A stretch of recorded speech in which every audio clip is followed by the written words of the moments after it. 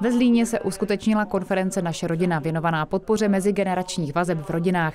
Ta má tři stupně. Základní zlepšení rodinných podmínek, následuje zabezpečení rané péče prostřednictvím poradenství či terénních služeb a finální fáze je zajištění sociálních služeb, které mohou pomoci se starostí o jednotlivé členy rodiny, stejně jako pobytové sociální služby. My jsme uh, chtěli za prvé starostům, starostkám uh, obcí dát uh, jakousi informaci o tom, jak se vytváří strategie na podporu rodin a seniorské politiky, informací o koncepci rodinné a seniorské politiky zde ve Zlínském kraji, ale také projektu Ministerstva práce a sociálních věcí, eh, který podporuje tyto politiky ve spolupráci samozřejmě s kraji. Největším problémem je v současnosti vylidňování kraje a odchod zejména mladých rodin do větších měst. To pak způsobuje i pokles pracovních sil. O tom mluvil pan starosta Chmela. Třeba v těch firmách ve Slavičíně nahrazují i zahraniční dělníci.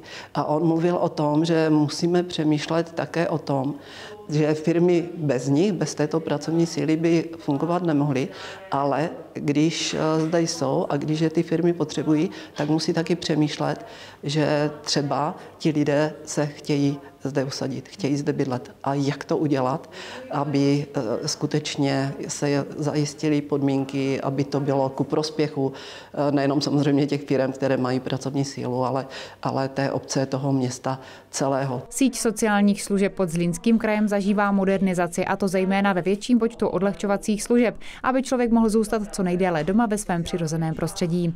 Zlínský kraj je také pilotní v zavádění asistivních technologií a využití nových metod z digitálního prostoru.